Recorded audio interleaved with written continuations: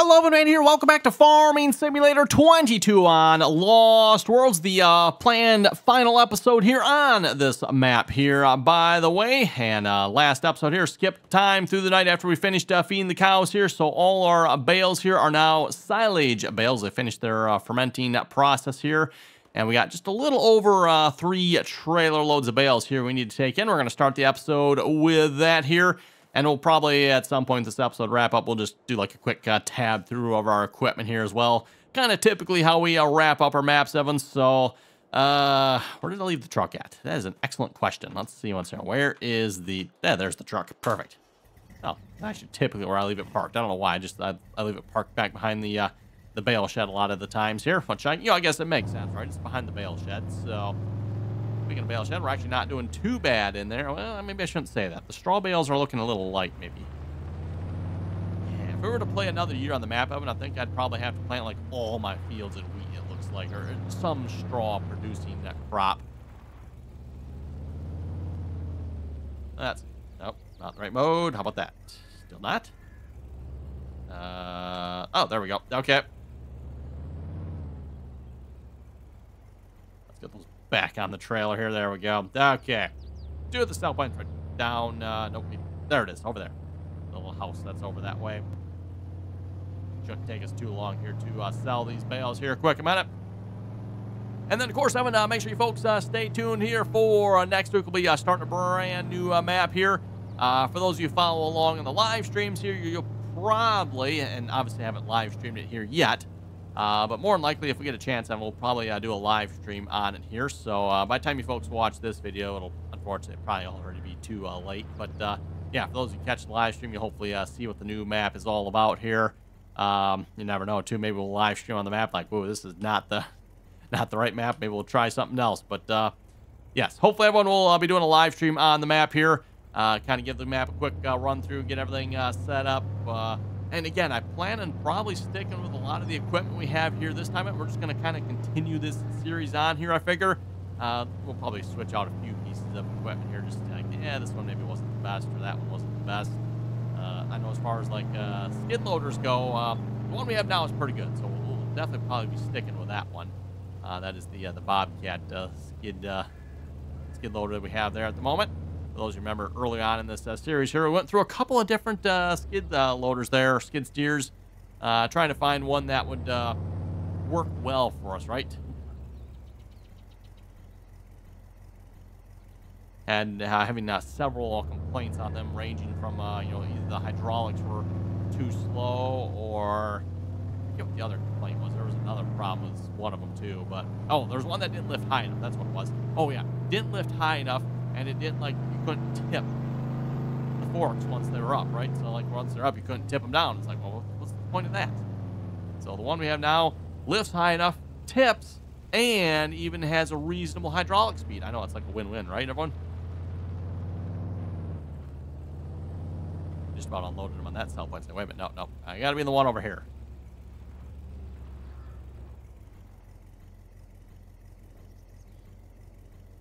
Gotta stay here so they don't roll off. There we go. Boom.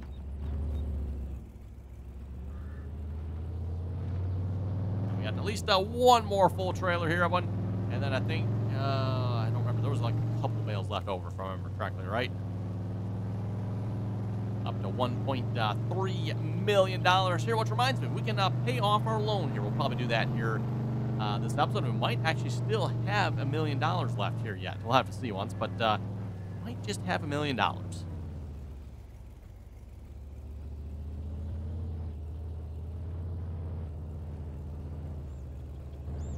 Two more bales here. Yeah, we'll have what? Okay, four bales left. Back on the trailer. There we go.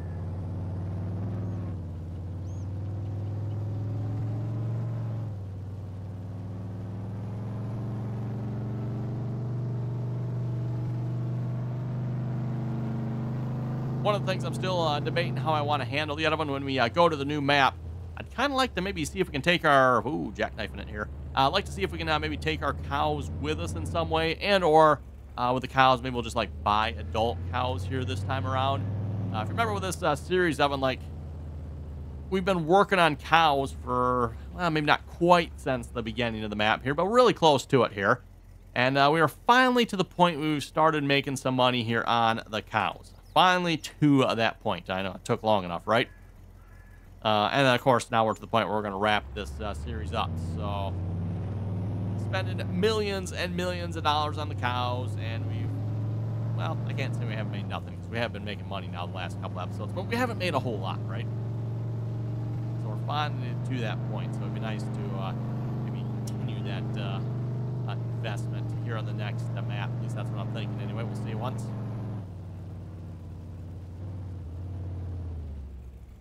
And as far as like, uh, I kind of called this our rags to our riches series, Evan. Uh, if you remember, we started this map with basically nothing. Uh, no land. Well, I guess I shouldn't say no land. We did start with a little bit of land. So, yeah. We did not start this map with a whole lot as far as land and uh, equipment went. I think we've done quite well here so far. Again, as a reminder, we had to clear all, almost all the land we have. I say almost all because there was a few areas that weren't clear. But uh, for the most part, even uh, the areas that were somewhat clear, we still had a couple of trees we still had to uh, clean off in a few spots. Okay, last uh, four bales. There we go. $21,909. It's bummer because there's like one more bale in the baler that's like almost full, right? I mean, I think it was like 94% or something like that. Uh, I suppose we could probably like go mow a little bit somewhere if we really wanted to, but then we're not going to bother. I mean, close enough. Good enough. One point, oh, so close to $1.5 million too, right, Evan? So close, but not quite. Oh, well. Just no leaves on the trees yet. Huh. Middle of December, huh? Okay, well, anyway. Let's go uh, park the truck back where I typically keep it over here by the bale shed are done moving bales here on this map. Now, as for the next map, Evan, I don't know. We, we might be moving more bales on the next map. We'll have to uh, see once here. Yeah, straw bales, Evan, we're... Boy, I don't think we have enough straw bales, Evan, to make it through the uh, winter here. Well, we might have enough to make it through the winter, but then we got to make it like a couple more months until the wheat is ready to harvest, right? If we were, again, if we were to continue playing on this map, which we're not going to, but, uh, yeah, wow. Speaking of cows here, skip time for the night. How much have they used? Whew. The cows are definitely using a lot more feed than they were before. One uh, used to be I could skip um, probably like a couple of days here before I'd have to feed them. Now, I mean, I skipped one day, and they're already about halfway. Actually, they might be. Eh, it doesn't look like it's quite halfway. It's close, but not quite halfway. Straw doesn't look like it's too bad yet, but uh, yeah, the cows are definitely going through a lot more feed now. I don't know how many cows we have in here. Is there... Yeah, it's such a mess with the cows here. I mean, I don't know what is going on with this. Like, we got one here, three there, six, eight, three, 11, 1, 10, 4, 1, 3, 2, 7, 1, 1, 1, 11, 5, 3. Like, oh, what in the world? Kind of annoying. I don't know about you folks, but uh, I'm definitely not liking this mess here. Just It seems like such a mess. But uh, I, I, I get what's going on. Not all the cows are at the same stage, but still oh, age five months. We could actually probably... Yeah, they're not really worth a whole lot, are they? Well, these might be 458. Get rid of all the bull cows because they're just uh, eating food is what they're doing. Let's see. If we go to... Where is it? I think, is it on this side? Yeah, I think this is the one. No? Oh, animals. Okay, it, it shows right there. We've got 116 animals in there at the moment. Uh, did we start with 60? I don't remember how many we started with again. But anyway, there's 116 now at this point. And if we go uh, check our money here, we are making ooh, 145,000 so far on that one, huh? Sold milk is continuing to go up here. So uh, August, I think August was the first month we probably actually started making some money. I'm to start out $23,000. We basically tripled that for September, 63,000. Looks like we then doubled that for October. And November a little bit higher. December, yeah, same story, a little bit higher for another 15,000. So, and then uh, sold products. I, I was asking, or I think I mentioned this here a couple episodes back. I wasn't sure what that was. What that actually probably is, Evan, is the silage over here is, oh, I should this way. Uh, the silage over here is selling from the silo. So we are making eh, 56 $58,000 a day on the silage. So not a bad little uh, gate going on over here as well. Uh, there's probably still, yeah, still quite a bit of silage in here yet, everyone. Um, again, as I said before, I kind of find that to be a little bit annoying because at the rate this silo is going, I it probably has enough in here to like last an entire in-game year. Which, yeah, I don't know. I, I don't like that. I'm like, come on now, really? Shouldn't take that long. That's a little bit uh, ridiculous. That needs to be like cranked up by about a factor of 10 here. So if you ask me, well, that's just uh, my opinion. So yeah, like I said, we'll see if we can uh, maybe, uh, again, we maybe won't take the exact cows we have over here, but we'll see if we can take the cows similar to what we have over here and bring them to the next map. Well, with that being said, let's maybe uh, see what's what we got uh, as far as equipment goes on the map here, and we'll uh, look at wrapping this uh, this map up here. So we'll just kind of tab through our equipment, see what we got. Oh, let's uh, check our statistics screen here as well. I always like looking at this, Evan, seeing what's what uh, we worked as far as field and seed and play time here. Two, wow, 287 hours on this map, Evan. Sure does not feel like I played on the map that many hours, but According to the game, Evan, we got 287 hours on this map. Wow. Uh, worked hectares, uh, just under 1,100. Cultivated, not a lot. Plowed, sown, 161 acre. Oh, those are actually acres too, aren't they? Sprayed 551 acres, huh? Harvested 179 acres. Didn't harvest any olives or grapes. Uh, so far, uh, speaking of have in Farming Simulator 22 here, obviously we're getting close to wrapping this up here. Uh, I believe I've only done olives and grapes once here so far in Farming Simulator 22. Maybe twice? Olives for sure, I think we're only once. Grapes I might have done twice, but yeah, we have, I've, yeah. Really, I've not done much with olives and grapes. You know, single row at a time. It's great, great time, everyone. Uh, work time, cultivation time, sowing time, spraying time. Got quite a bit of spraying time. Quite a bit of harvesting time, 63 hours of harvesting. We drew 515 miles, or drove, I should say. Drove 515 miles. Fuel usage. Oh, that's okay. I was going to say, wait, half again. No. 1,458 gallons. Wow, fertilizer usage. Then that's, get oh, five, wait, 559,000, no. Yeah, 559,000 gallons. Okay. That's uh, that's a lot of gallons there. 748 seed usage. Oh, bales. Uh, do we have bales here? Trees cut. Uh, we cut down 260 trees, for those who are curious. I uh, didn't realize we cut down that many trees, but yeah, we cut down a lot of trees. I've been clearing the land here. Bales produced 666. Oh, okay. Maybe we better go produce that one more bale in a minute, everyone. Yeah, we better uh, better go make one more bale here. I think that's. oh boy, we are uh, we are in trouble there.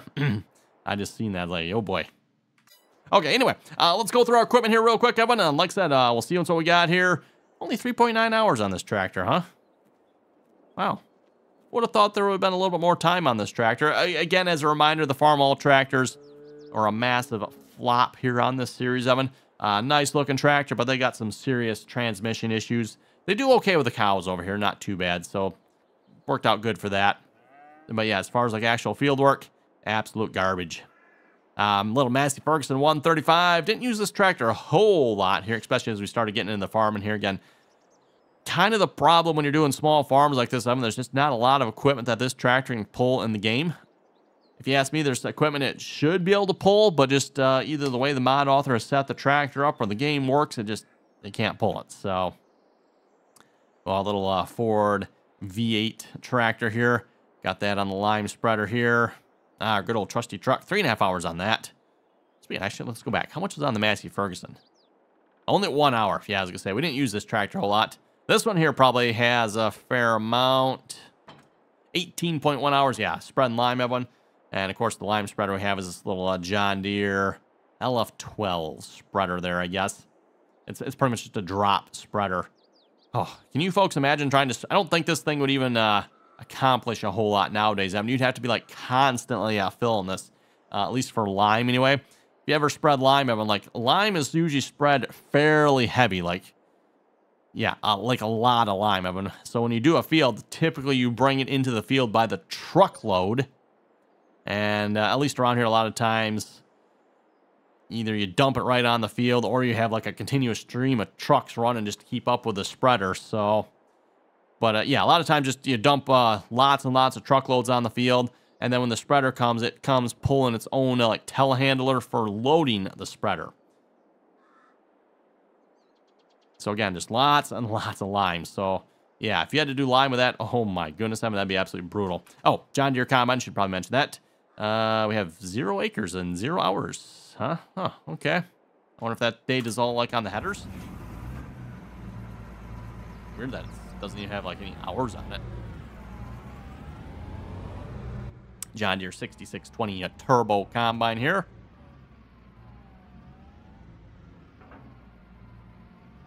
64 acres. There we go. That's at least just on this header here. I presume there's probably at least a few more on the corn head, although we didn't harvest a whole lot with the corn head one. Uh, a lot of the corn we got chopped. So, uh, there's our Bobcat. Good little Bobcat, Evan, the Bobcat T870. If you're looking for a good uh, Bobcat, definitely worth checking out. I know there's one other one we tried. I think it was also an 870, if I remember correctly. It looked a little bit uh, different. That one was definitely not as nice. Another uh, Farmall tractor. This is the 806 with our silage blower on it. Uh, suffered from the same problem as the 1206. Has some serious uh, transmission issues. So as far as like actual field work goes, another absolute garbage tractor. So kind of a shame. Good looking tractor. Uh, I mean, did I say that out loud? But uh, yeah, just can't pull nothing in the field with it. John Deere Model A styled one. And then we have an unstyled one around here somewhere. Or what? Yeah. I always forget which way this goes. This is the styled one, right? Got all the covers and the, the front. I have to go look at the other one to double check and make sure. But uh, yeah. Uh, John Deere 4020. We got a couple of these uh, 4020s uh, floating around here pulling our uh, New Holland Haybine. Ah, there we go. John Deere. Another John Deere A, A tractor. Yep, same one as the other one, just unstyled. And then we got... Oh, that's actually another. Do I have three of these? Oh, no, I was going to say, I thought I only had two. Yeah, there's the Henry behind us there. Another John Deere 4020. This one has the cab. Had duals on it when we first started the series, too. We should probably, uh, just because we're wrapping up the series, we put the uh, duals back on this tractor so it's like it was when we uh, started. So, yeah, zero dollars. Yep. If you have a customization you've already bought one, and it shouldn't cost you anything to go back to that customization. So because we already had this uh, uh, set of tires bought, it's not costing us anything to go to it. Weird though how it cost uh, money. I think if I remember correctly, I think we had to pay when we took the duals off, which I, like, really? You take the duals off. Why are we having to pay like, uh, I think it was like a couple thousand dollars or something, wasn't it? So, anyway, John Deere 4020. Oh, that's gonna, right, mix up our tab order, didn't it?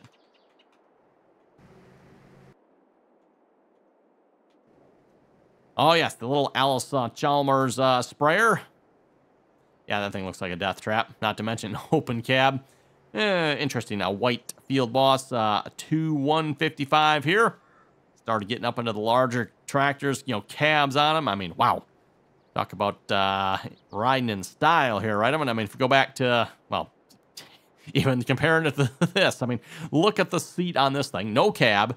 Uh, motor's right up front here. Probably has all of like five horsepower from the looks of it. Uh, ran by like a bicycle chain down to the tire here. Pivots, uh, actually, where does the pivot? I guess the pivot's actually like right here, isn't it? Okay, so yeah, pivot's right there. Looks like the battery right, right at our feet there. Actually does have cylinders uh, for folding this thing out, it looks like. I thought at first maybe there was no cylinders on it, but nope. It does actually have folding cylinders. Uh, John Deere 30 at 20. Pulling our case haybine there. Uh, very dirty Minneapolis Moline G1355. One of the first higher horsepower tractors we got here for pulling choppers and stuff like that. Speaking of which, of course, with the choppers, we had some issues. Had to do some uh, horsepower modifications there, but we made it work. And a whole plethora of forage boxes here. Actually, I think I got rid of some of them. Must have got rid of some of them. I think I got rid of the John Deere's and the New Hollands there. So, yeah. Oh, Allis Chalmers, another cab tractor there. 80-70 higher horsepower pulling our fuel spreader there. Not actually sure what it's doing down here, but anyway. Oh, yes, and our grain truck we bought here a couple episodes back just to uh, sell some stuff. Didn't use this one a whole lot. International 1486, another higher horsepower cab tractor. Suffers from, it seems like a little bit of a transmission issue like our other red tractors, but not quite as bad. At least seems to be usable here so far, so... Another, oh, no, this is a 44 30. I was going to say, wait, another 40 20. Nope. John Deere 4430 here. 141 acres on that, huh? That's, wow. Uh, with 25.3 hours on the tractor. It's a lot of acres on that uh, chisel plow there. Out of curiosity, how much is uh, you on the other one? Yes, you are 33 acres on that one. This is our newest uh, chisel plow one. We just bought this one. So, plowed a couple of fields with it there. I'm not even sure how much land we technically even have, everyone. We got, now, yeah, for those you seeing the map here, I don't know what this equates to property-wise, but we got uh, six fields. Most of them not particularly large. Oh, yes, and our John Deere 2280 mower. We'll have to see once. Maybe that'll make it to the next series as well. John Deere 4840 there. I forget what what do we what do we need this track? Oh, I think it was the uh, other chopper, right? I believe it was the John Deere chopper. We needed a larger tractor for, so I was like, well, we'll try the 4840. Uh, again, just one of those cases where I don't know if it's the game's fault or the mod author's fault, but we needed uh, like more horsepower than what it really probably should need, in my opinion. Like some of our tractors should have been able to pull this chopper, I think, but they yeah they just could not pull it. So this one here is a three-row chopper versus the uh, two-row New Holland here. Our uh, John Deere 7000 series corn planter, John Deere 100 chisel plow. I think this was a roller for the grass. I think we used it like one time, never again. Our planter probably doesn't quite fit the uh, style what we were going for here on this map. We'll have to see once maybe we'll find something better for the next uh, video. Uh, our spreader, didn't really use that one a whole lot. I mean, that one, uh, yeah, didn't use it a whole lot. Actually, if we go uh, connect to it here a minute, see what we got.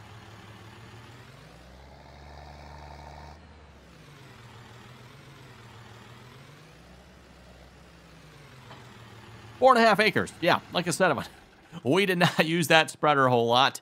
Uh, I think we maybe used it like once in the beginning. That was probably about it.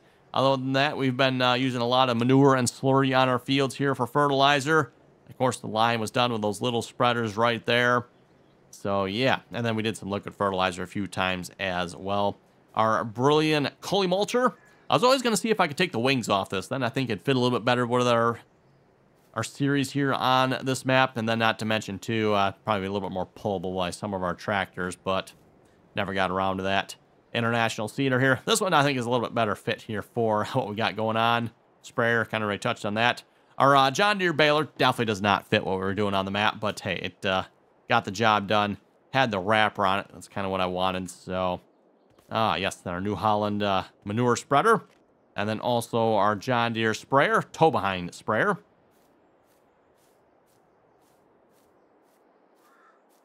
Little, uh, I think this is a little cultivator. Don't believe we've ever used it.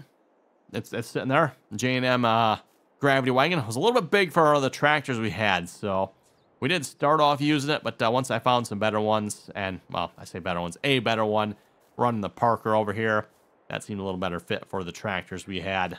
So, yeah, I think with that, I mean, that's about it here for the map. We're going to wrap it up here. Oh, before I forget, let's see if we can uh, pay off the loan here. That is actually, yeah, go, go to that one there.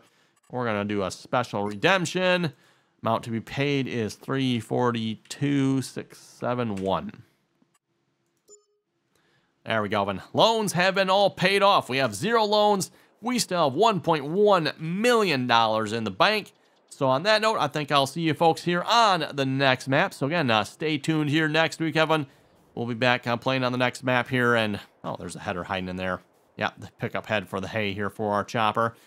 So yeah, like I said, stay tuned here next week. We'll kind of probably be picking up sort of where we left off with this map, and just uh, maybe a little bit different equipment and, of course, a different map. So stay tuned for that. Again, thanks for watching. If any folks have any comments or questions, be sure to uh, leave them down below. And as always, Evan, thanks for watching, and till next time. Let's see if I can zoom out here. Can we get a... There we go. So yeah, till next time, everyone.